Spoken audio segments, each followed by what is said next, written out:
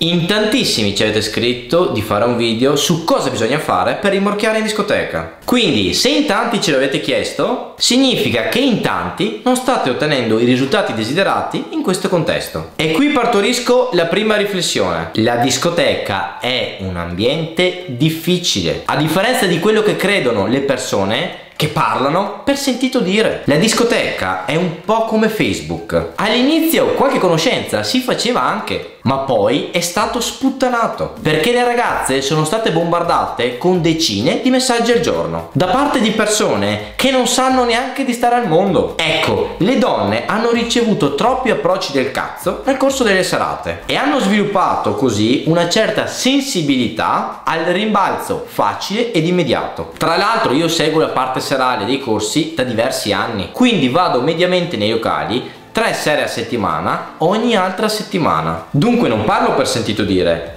ma perché ci vado? E tantissimi dei miei studenti riescono a rimorchiare. Infatti avrete sicuramente visto più di qualche foto negli ultimi mesi. Partiamo! Consiglio numero 1 regola 70-30. Questa è una cosa che non trovate nei manuali, perché è un concetto che ho notato nel corso degli anni. Il 70% dei risultati che conseguirai durante la serata dipende da come ti comporti nei primi 30 minuti. In questi primi attimi è fondamentale rompere il ghiaccio e rimuovere i freni inibitori. Se parti subito bene, poi avrai tutto il resto della serata in cui sarai pieno di energia e adrenalina. Di conseguenza sarai più fluido deciso ed immediato in tutte le conoscenze che farai. Viceversa, se continuerai a dirti, eh, ma questa non mi piace. Eh, ma come inizio? Eh, ma cosa le dico? Condizionerai i tuoi pensieri ponendoli sui binari sbagliati e questo ti influenzerà per tutta la serata. Quindi nei primi 30 minuti devi socializzare, non necessariamente concludere. Chiedi un consiglio sul drink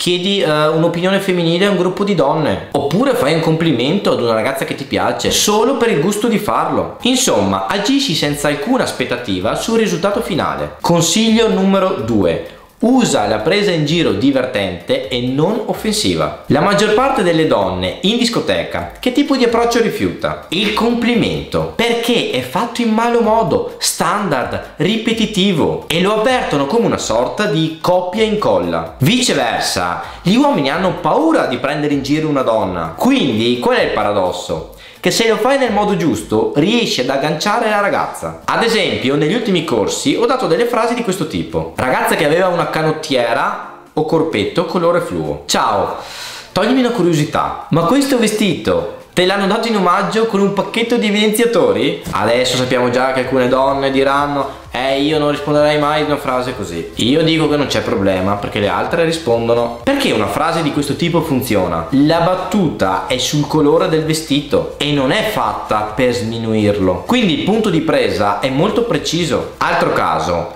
ragazza vestita con indumenti color oro e argento. Ciao.